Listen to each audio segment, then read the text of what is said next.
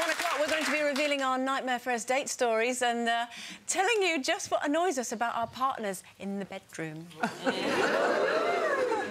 How long's the show? look, look. Was that you? That's Nadia. Is that not you? That was so funny. Hey, well, well, I love this show so much. So it's my day off and I'm here with my friends. Oh. Carol. That wasn't even you that shouted. No. no. it feels really weird. She's given me an idea now.